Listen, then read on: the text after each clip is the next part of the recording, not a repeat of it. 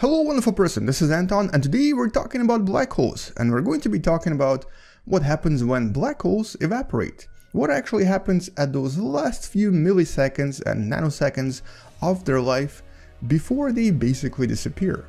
We're going to talk about the death of a black hole. Welcome to What Da Math.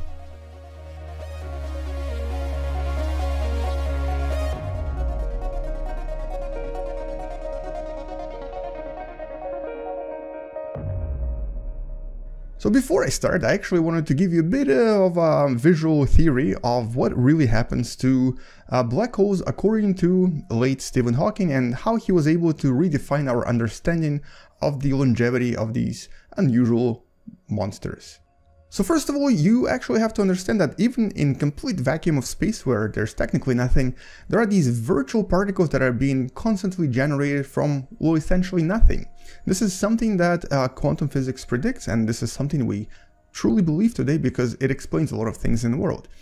Uh, the idea of these virtual particles becomes even more interesting, um, and this is actually what Stephen Hawking was kind of famous for defining, uh, when it comes to black holes. So let's just say these uh, virtual particles are actually created right now, but very, very close to the actual uh, event horizon of a black hole. So as these two particles are generated, one of them might actually accidentally cross into the black hole, while the other is left with nothing to attach to now and technically now becomes a real particle and leaves the actual event horizon of a black hole, because it has enough energy to escape. So when this occurs, um, over the period of billions and trillions of years, the black hole actually start losing mass. This is essentially what we call the black hole evaporation. And this particular type of energy is currently known as the Hawking radiation. Now, interestingly, the bigger the black hole, the less it evaporates. The more massive uh, the black hole, the less it evaporates as well. But small black holes, or I guess micro black holes evaporate much faster and they actually exhibit the effect to such an extent that um, hypothetically you could use these black holes for um, unlimited energy. This is another topic for another video, but for now all you need to know is that this is actually um, hypothetically the cleanest energy source we could potentially create. However, um, if I were to take a look at any of the black holes we discovered already that we know exist out there, like for example this Cygnus X3, um, you would actually be surprised to realize that these black holes don't actually evaporate at all. They don't exhibit this property just yet.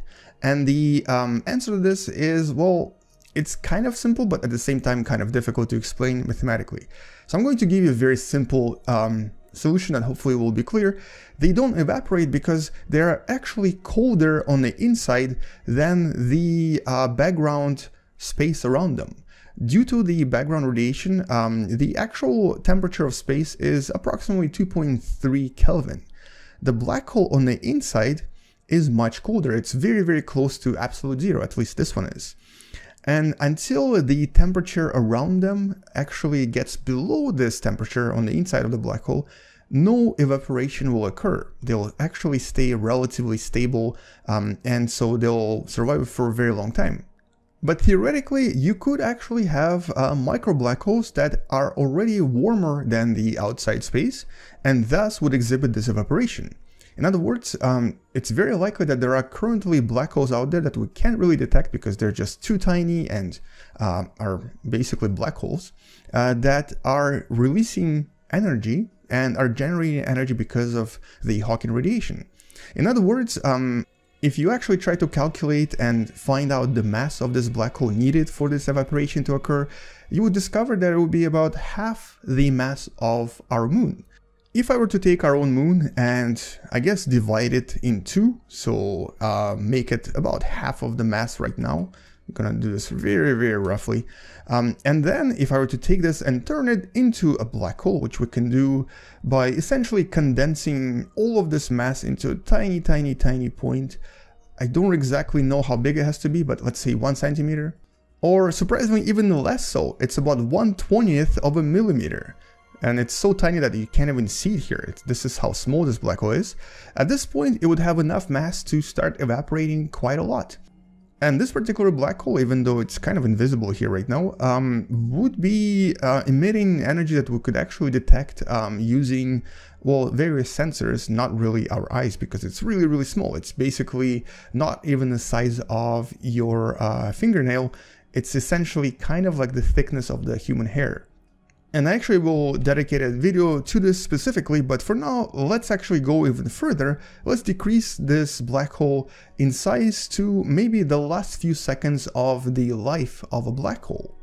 What is really fascinating about black holes is that as they decrease in size and as they essentially evaporate, they exhibit this unusual property of becoming not black anymore, but actually brighter and brighter and brighter. Unfortunately, there's no way for us to simulate this very easily, but in essence, as the black hole decreases in mass and in size, it starts emitting more and more energy, and at some point it actually becomes visible to us, and at some point it becomes ridiculously bright. The thing is, at that point it's also so tiny that it's even smaller than the smallest uh, subatomic particle. In other words, it is ridiculously, ridiculously small. If this tiny micro black hole um, went into you and went inside your body, you would most likely not even notice it. It's that tiny. And uh, it would actually pass very likely between your atoms and not even influence them that much. Maybe a few of them, but not a lot of them. And a few seconds before its demise, uh, a typical micro black hole will actually resemble a tiny microscopic star. Okay, microscopic is not even the right word for this. It's like ultra microscopic. It's so tiny that it's very difficult to imagine. If I were to use the super famous Scale of the Universe website and try to kind of compare this to um, a size that I'm talking about, I would have to actually go way, way, way past the atoms and even past the subatomic particles such as quarks. So right around here, this is maybe where we would start discovering the size of those black holes, those micro black holes that are so bright that they're star-like. And within only a few seconds, it will actually keep decreasing in size and increasing in luminosity and in temperature. And this is where it gets really cool because black holes actually are the only objects in the universe that can potentially reach infinite temperature. Temperature is so high that they basically completely disappear. And they do this when they essentially reach the absolute uh, minimum length known as the Planck length, and when the temperature goes to the infinity, their mass goes to zero, and they kind of, sort of, just whoosh, disappear. But what I really wanted to do is, I wanted to find out, so, you know, in the last second or so, how much mass is left and how much of this mass is then converted to pure energy. And I actually found um, the math for this, and I'm going to kind of try to demonstrate this by using more common objects so you, you kind of get the idea. Basically, in the last second or so, the black hole is a lot brighter than this particular object that I created, and um, in this one second, it uses up approximately 200,000 kilograms of mass, of matter which is overall equivalent to about 20 of these beautiful third stage uh, parts from Saturn V rocket. This is approximately 200,000 kilograms altogether. All of this is essentially eliminated in about one second and turns into perfect energy. In other words, um, imagine this tiny, tiny micro explosion, this tiny nuclear energy that is produced um, by these micro black holes as they're eliminated, um, as all of this mass that I'm trying to create here turns into energy. Now, um, it's very difficult for us to really imagine what happens on the inside of these micro black holes and how this energy manifests itself. But you can probably imagine that it's a very, very, very large explosion. However, not as large as a typical, uh, like, let's just say star generating energy, because if I were to look at a typical star, like for example our sun, um, our sun actually uh, goes through about uh, 4.3 million uh, tons of various materials in a single second. So there's a lot more energy used up there. But these micro black holes use up about 200 tons of mass in a tiny, tiny, tiny, tiny spot. So that's kind of the biggest difference here. In more human terms, uh, the biggest ever nuclear explosion, this right here, the Russian Tsar Bomba, um, was approximately 2.3 kilograms of mass converted to energy and resulted in uh, basically a 50 megaton explosion. Now, this tiny black hole that we're talking about is going to be turning 200 tons or 200,000 uh, kilograms into pure energy. Roughly 100,000 times more explosive than this right here which is, considering the fact that it's a tiny point, is actually kind of mind-blowing. So what really happens in those tiny micro black holes and how they actually detonate and how this energy is then distributed across the universe is obviously a mystery because we don't really know if we've actually been able to detect these uh, particular events yet. And the main reason why we haven't really been able to detect any of this yet is because, well, for one, um, these black holes are practically invisible. Micro black holes are essentially impossible to detect right now. We don't have the technology or the means to see them. Right now we can sort of predict the existence of uh, solar mass black holes and also supermassive black holes by their interaction with nearby matter, but even those black holes we haven't really seen just yet. The picture, the official picture for the first black hole hasn't really come out yet.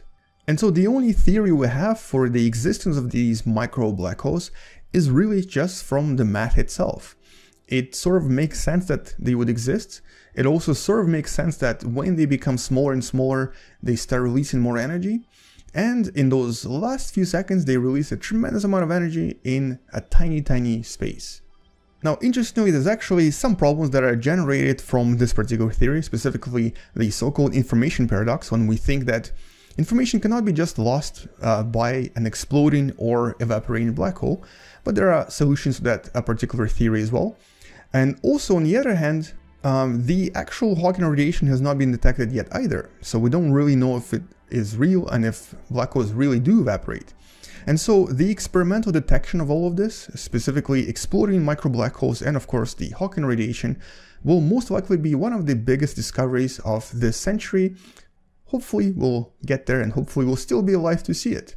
Until then though, uh, all you have to kind of know about these micro black holes is that if we can actually generate them here on Earth, we could potentially create this incredible, incredible uh, source of clean, free energy. Okay, not really free, but very, very safe. And uh, unlike the media that speculated that a micro black hole could destroy Earth, like I mentioned in the video, they're so tiny that they could pass through anything and not even be noticed which is actually maybe something we've detected previously when our satellites that are orbiting the planet Earth have experienced uh, some weird, unusual phenomena that could not be explained otherwise through time dilation. And this is actually something that could be technically explained if those were micro black holes. But other than that, for now, that's really all we know about them, and in some of the future videos we're going to explore this a little bit more, but only from theoretical perspective. Until then, thank you for watching, Please subscribe if you still haven't, share this video with someone who enjoys learning about space through simulations and video games, and come back tomorrow to learn something else. Maybe even consider supporting this channel on Patreon. I'll see you guys tomorrow, space out, and as always, bye bye.